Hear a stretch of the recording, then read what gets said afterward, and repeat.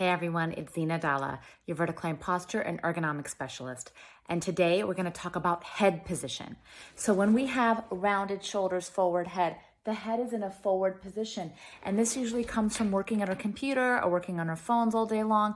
And we have to retrain the body to hold the neck back into a better position where our ear is over our shoulder.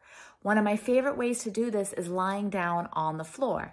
And the reason why this is my favorite way to do this is because the floor will give you that feedback on where your head is supposed to be in space. Plus, gravity pushing your head down into the floor makes it easier for your head to be there. So I'm going to show you this exercise lying down on the floor. The first thing you're going to do is take your legs on top of a chair or a block or something where you can have your legs at a 90 degree angle. So your knees are directly over your hips. We're gonna take our arms out to a T position. I've got an L-shaped position here at my elbow joint and my elbow is directly out to the side in relation to my shoulder. Now I'm going to squeeze my shoulder blades together behind me. When I do that, you wanna make sure that you don't flare your rib cage up. Try to keep your rib cage pulling down and then think about squeezing your shoulder blades together behind you. Now you're gonna hold this shoulder blade squeeze and then you're gonna push the back of the head into the ground and release. Push the head of the back of the ground and release. But the whole time you're maintaining that shoulder blade squeeze. Head pushes in and releases. Head pushes in and releases. I know it's probably a little bit hard to see because I'm not actually doing a lot of movement. I'm just doing an isometric contraction where I push the back of the head into the floor. The whole time, again, you're holding that scapula squeeze behind you and keeping those muscles engaged. This can be a little challenging to get the hang of, but it's a really effective way to get that head back into the position. I would do this about 20 repetitions, three sets daily. Thanks for watching. Please try the exercise and have a great day. Hey everyone, it's Zeena Dhalla, your VerticAlign posture and ergonomic specialist. And today we're going to talk about head position.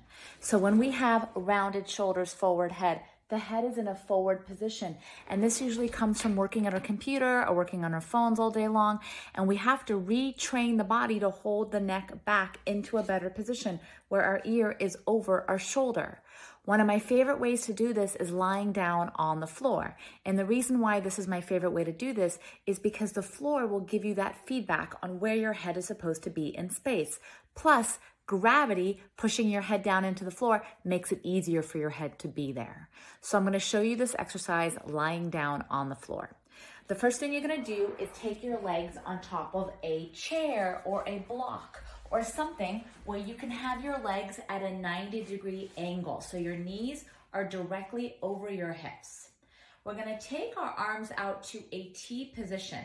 I've got an L-shaped position here at my elbow joint and my elbow is directly out to the side in relation to my shoulder.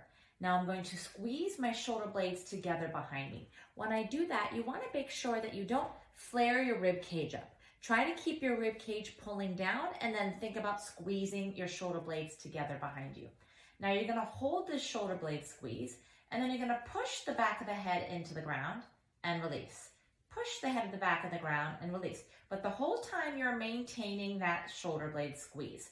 Head pushes in and releases. Head pushes in and releases. I know it's probably a little bit hard to see because I'm not actually doing a lot of movement. I'm just doing an isometric contraction where I push the back of the head into the floor. The whole time, again, you're holding that scapula squeeze behind you and keeping those muscles engaged. This can be a little challenging to get the hang of, but it's a really effective way to get that head back into the position. I would do this about 20 repetitions, three sets daily. Thanks for watching. Please try the exercise and have a great day.